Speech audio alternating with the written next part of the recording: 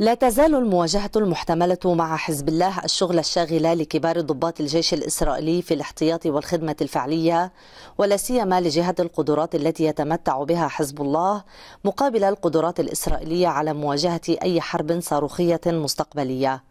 قائد فرقة الجليل شلومي بندر الذي يعد المعني الأول في أي مواجهة مستقبلية مع حزب الله قال أن حزب الله يعد العدو الأهم للجيش الإسرائيلي اليوم وأنه منظمة عقلانية لا تعمل بانفعال.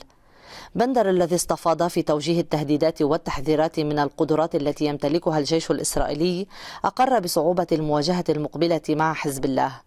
والأهم من ذلك تقديره أن الحزب لن يعدم وسيلة للدخول والسيطرة على مستوطنات محاذية للحدود حتى مع عدم وجود أنفاق.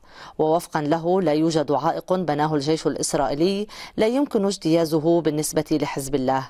ولذلك فإنه في حالة الحرب سيعمد الجيش الإسرائيلي إلى إخلاء المستوطنين من المستوطنات المحاذية للسياج الحدودي مع لبنان.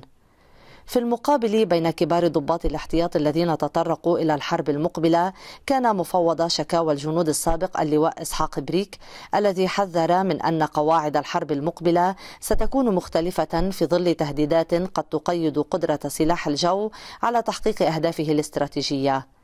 وبحسب بريك فإن التقديرات التي تشير إلى امتلاك حزب الله أكثر من 14 ألف صاروخ ثقيل الوزن إضافة إلى صواريخ فاتح 110 دقيقة القادرة على إصابة أي هدف في إسرائيل بدقة وتدميره قد تزعزع قدرة الردع الإسرائيلية.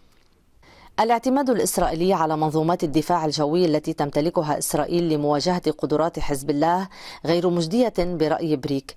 فكلفة تشغيل هذه المنظومات باهظة جدا ولذلك فإن هذه المنظومات ستتوقف عن أداء مهماتها خلال وقت قصير. وستبقى الجبهة الداخلية الإسرائيلية عرضة لصواريخ حزب الله من دون أي رد.